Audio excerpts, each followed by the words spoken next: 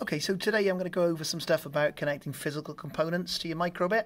And by physical, what I mean is anything you can see or hear or uh, watch move or something like that. So lights, buzzers, motors, all physical devices, okay?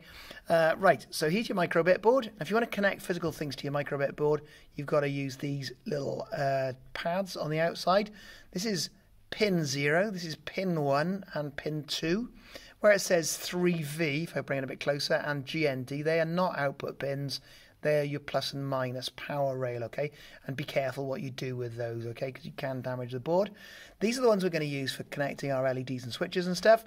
So we've got three, and we can decide what we want to do with them, whether we want to use them as inputs or outputs. It's up to us to decide that, right? There are tiny little lines in between the big ones, and if you want to access those, you have to use my special board that you can plug this into. So uh, here we go, right? You have got a cable that joins your microbit onto your USB in your computer. It's a micro USB on one side and it's a USB on the other. So micro USB, if you've got a C-type uh, charger or lead on your phone or you've got an Apple Lightning, you can put that in either way round, but not on this one, okay? So you've got to be really careful. One side of this connector is wider than the other.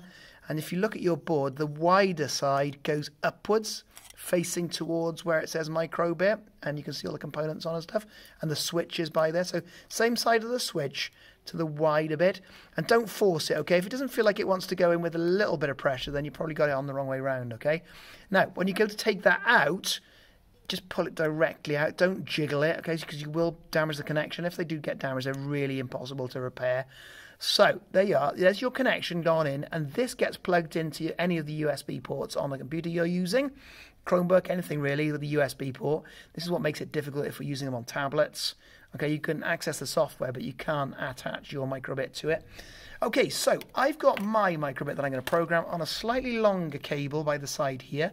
When you plug it in, you'll notice a little red LED that turns on. That tells you you've got power going to the device, okay?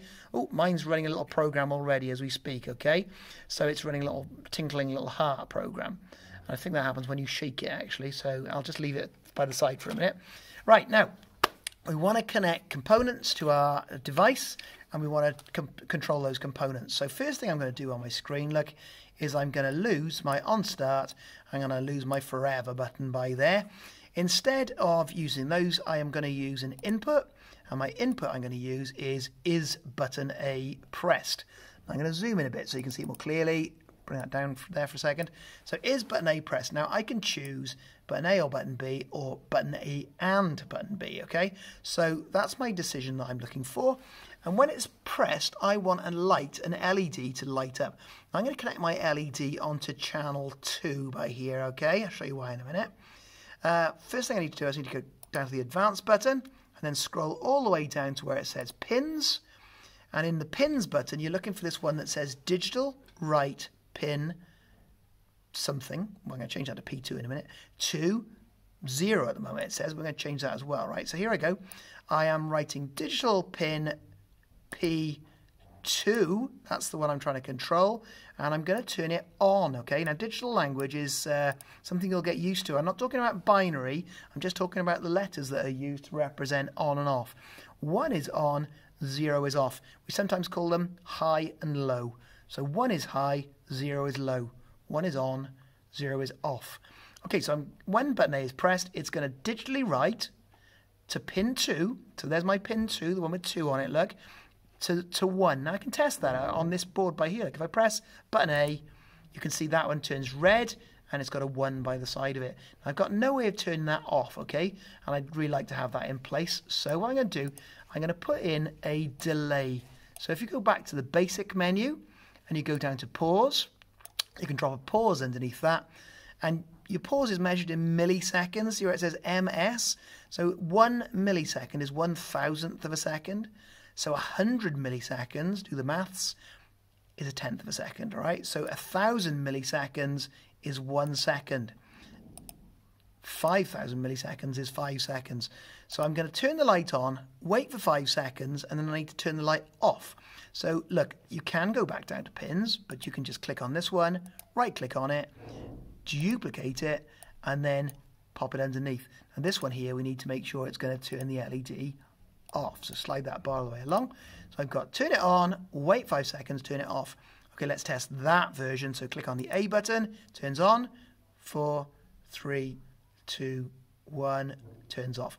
Okay, so that works okay. We know that. Now let's send it to the actual circuit board. Right, now watch. I've got here a, uh, a cable with an LED attached to the end. And more likely than not, I'm going to give you one of those to use on your program. Now, you probably want to attach a longer lead on it, but we'll go with that when we when the time arises. Let me just show you what's inside that cable, right? And you'll see on the end of it is the LED light that's sticking out. The LED light has got two legs, right? And if you look closely at those two legs, they are not the same length. One is longer than the other. The long leg is the plus, the short leg is the minus, and you must make sure you put those in the right way round, okay? Long is plus, short is minus. We've got another fancy word for it. We call the long one the anode. Like it's almost got the word and in it. And the other one's called the cathode. That's the minus. So the cathode is the short one, the anode is the plus. And this is a ultra bright white LED, very bright. If you look into it, it'll dazzle you, okay?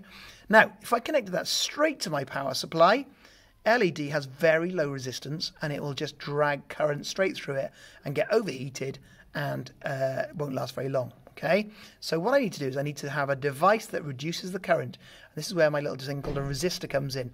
So what I've done is I've soldered a resistor onto my circuit and the resistor reduces the current going to the LED.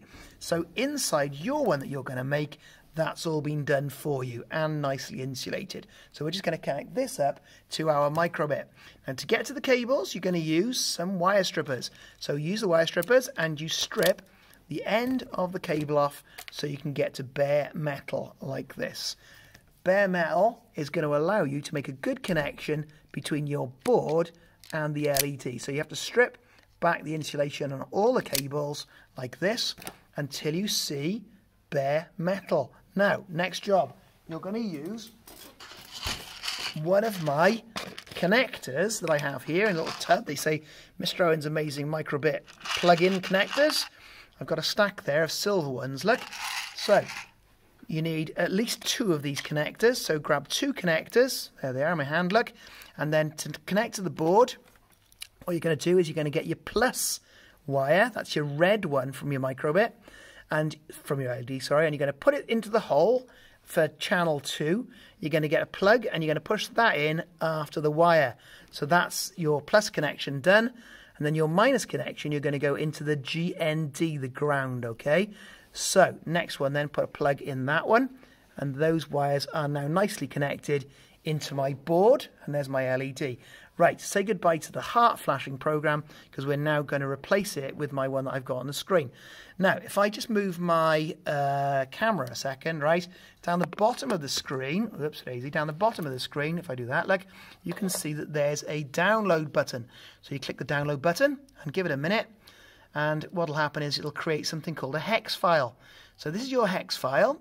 Once it's downloaded, click on the little arrow to the right of it, click on Show in Folder, and then it will be the highlighted icon. Now, if you look on the tree on the left-hand side, you will see microbit, and all you need to do is drag it onto the microbit and then let it go. Now, that will make the LED on the back of your board flash really rapidly, and you will also get a progress bar that tells you how that's being downloaded. So in a second, it'll hopefully appear, and it'll go across like that. So it doesn't take very long, really. It's not a big program. Now I'm waiting, okay? If I press button A, something should happen to my LED. So the LED lights up. Told you it's very bright. In this condition, you can't really appreciate how bright it is. And five seconds later, it turns off. Repeat the program. LED on. Five seconds later, it turns off. There you are. So that's about 10 minutes look, going over how you can connect physical devices onto your microbit. Watch it, pause it. Hopefully, it'll make sense after you've done it a couple of times. Good luck.